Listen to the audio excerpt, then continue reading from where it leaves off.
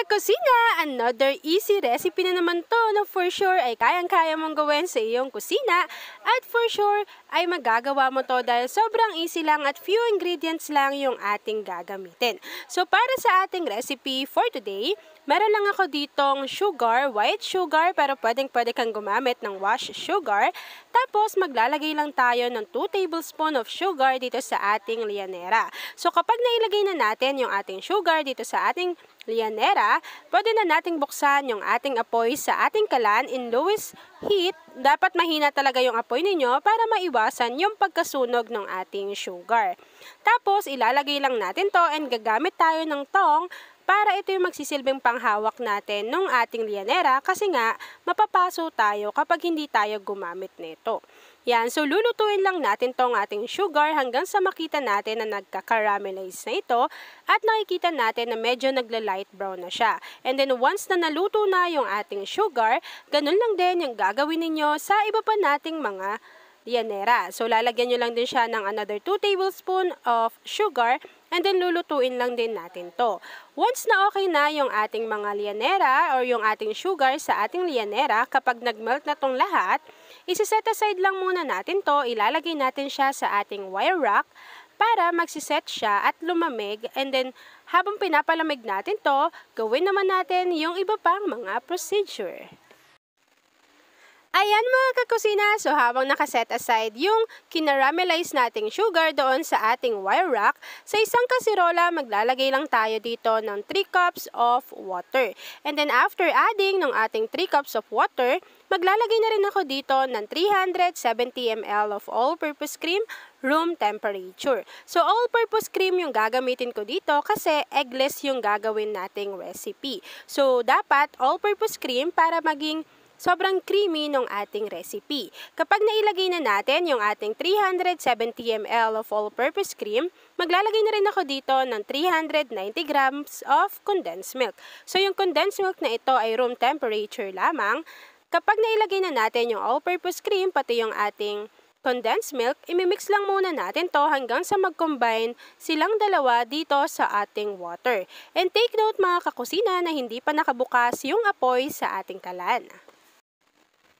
After mixing ng ating all-purpose cream, pati yung ating condensed milk, maglalagay lang ako dito ng isang Menu Magic Ube Flavor na 24 grams netong jelly mix. Yan, so ilalagay lang muna natin to dito sa ating liquid ingredients and then once na nailagay na natin itong ating jelly mix, imimix lang natin to hanggang sa makita natin na nag-combine na siya at na-dissolve na yung ating ube na jelly mix.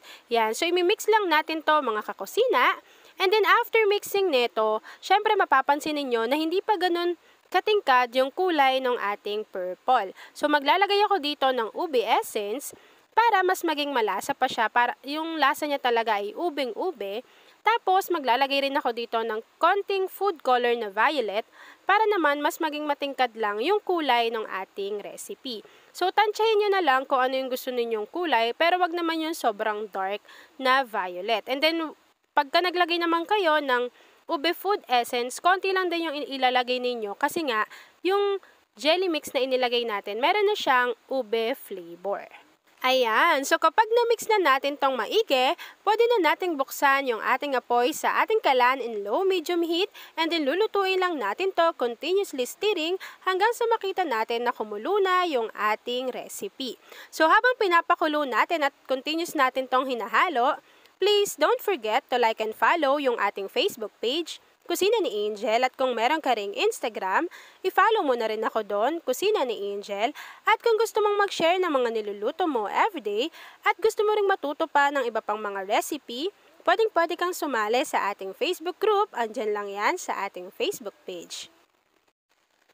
Ayan na mga kakusina, so kumulo na yung ating jelly mixture dito sa ating kaserola. Once na kumulo na yan, pwede na natin tong isalin sa ating mga lianera na sinet aside natin kanina. And once na isinalin natin to doon, gagamit tayo ng strainer para mas maging soft yung ating recipe. So, ayan mga kakusina, ito na yung ating strainer. Tapos, isasalin ko lang yung ginawa natin kanina na ube jelly mix. Ayan. Tapos, wag niyong pupunuin yung kanyang lagayan para hindi rin tayo mahihirapan mamaya na mag-unmold. Ayan. So, isasalin ko lang to dito lahat mga kakusina. And then, once na naisalin na natin lahat yung ating ube jelly mix dito sa ating mga lianeras, isa-set aside lang muna natin to. Tapos, hihintayin natin siyang mag-set at mag-firm. And then, once na lumamig na to, pwede nyo rin naman siyang ilagay muna sa chiller para mas mabilis natin siyang ma-unmold. Yan. So, kapag na-unmold na natin to mamaya mga kakusina, ipapakita ko na sa inyo kung ano yung natapos nating recipe for today. Ayan na mga kakusina, so nag-set na o nag-firm na yung ating recipe. So mapapansin ninyo na magme-melt ng kusa yung sugar na kinaramelize natin kanina. Ayan, so kapag ganun na yung itsura ng ating recipe, meaning pwedeng-pwede na natin tong i-unmold at ilagay sa ating mga lagayan. Yan, so ako nakagawa ako ng anim na piraso ng ating recipe. Tapos hindi ko lang din pinuno yung kanyang lagayan. Yan. So, i-unmold ko lang tong lahat mga kakusina at ilalagay sa aking mga square na microwavable tub. And then after nyan, ipapakita ko na sa inyo kung ano yung natapos nating recipe for today. Ayan na mga kakusina, tapos na ang ating no bake, no oven, ube jelly flan.